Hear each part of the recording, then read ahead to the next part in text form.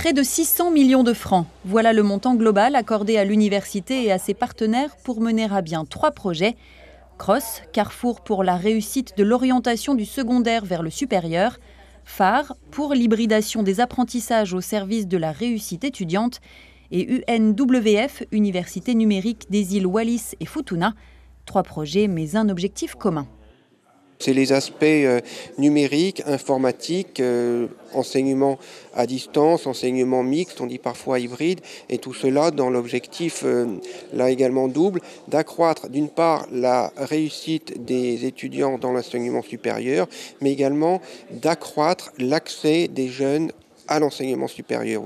Le projet phare notamment se concentre sur la numérisation des enseignements une démarche qui n'est pas nouvelle, mais la crise sanitaire lui a donné un important coup d'accélérateur. On est passé euh, au premier semestre par une phase extrêmement compliquée qui était euh, celle du confinement, où les cours en présentiel ont dû s'arrêter puisque la fac était fermée.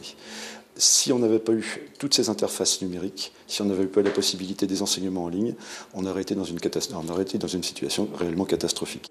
Reste la fracture numérique qui concernerait 20% des étudiants et les besoins en moyens techniques et humains pour développer la numérisation. Le projet phare prévoit trois actions principales. La première, c'est une action auprès des étudiants. La première des choses, ça sera les aider à être équipés, puisque on le disait, fracture numérique. Une autre action sera auprès des enseignants, donc leur donner euh, les moyens euh, de, fabriquer, de créer leurs enseignements en numérique, de les mettre ensuite à disposition.